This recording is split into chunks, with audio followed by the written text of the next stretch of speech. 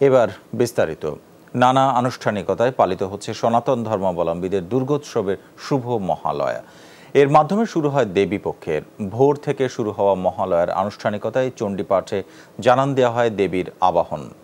সারা দেশে বেজে ওঠে হিন্দু সম্প্রদায়ের সবচেয়ে বড় ধর্মীয় উৎসব, দুর্গোৎসবের আগমনী সুর। তিথি ও হিন্দু ধর্মীয় রীতিনীতি অনুযায়ী চলতি আশ্বিন মাস অশুভ, তাই কার্তিকে হবে দুর্গোৎসব। ঢাকেশ্বরী জাতীয় মন্দির সহ সারা দেশের মন্দিরগুলোয় দেবীপক্ষের সূচনা লগ্নে চণ্ডীপাঠ করা হয়। এরপর হয় সাংস্কৃতিক অনুষ্ঠান। মহালয়ার ঘট স্থাপন করে অনুষ্ঠিত হবে বিশেষ পূজা।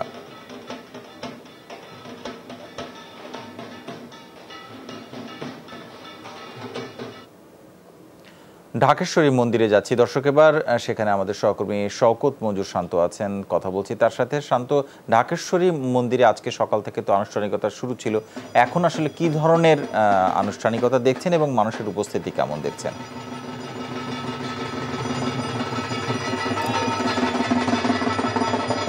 জোহা এখানে এই মুহূর্তে মহালয়ার যে আনুষ্ঠানিক পূজা, সেই পূজা কিন্তু শুরু হয়েছে। এবং এখানে আমরা দেখতে পাচ্ছি যে বেশ আয়োজন করে কিন্তু পুরোহিতরা এই পূজাটি সম্পন্ন করছেন।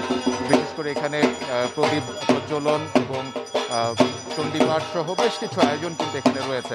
এবং সকাল থেকে বলতে হবে, একদম ভোর থেকেই পুণ্যার্থীরা কিন্তু মন্দিরে এসেছেন এবং মহালয়ার যে প্রাথমিক আনুষ্ঠানিকতা সেই প্রদীপ প্রজ্বলন চণ্ডীপাঠের মাধ্যমে কিন্তু মহালয়ের ধন গণনা শুরু করা হয়।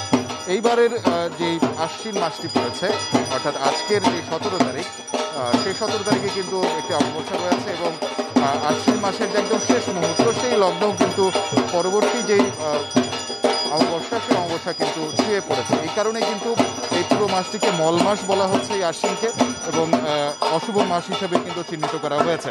যার কারণেই কিন্তু আমরা জানতে পারছি যে এক মাস পরে সেই আয়োজনটি এই বিশাল আয়োজন, দুর্গাপূজা, সেই দুর্গাপূজা কিন্তু অনুষ্ঠিত হবে এক মাস পরে।